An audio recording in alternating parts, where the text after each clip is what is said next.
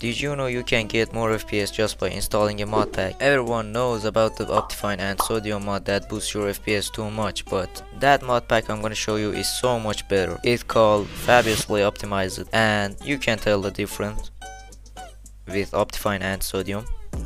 The download link is in description, you can download it and enjoy.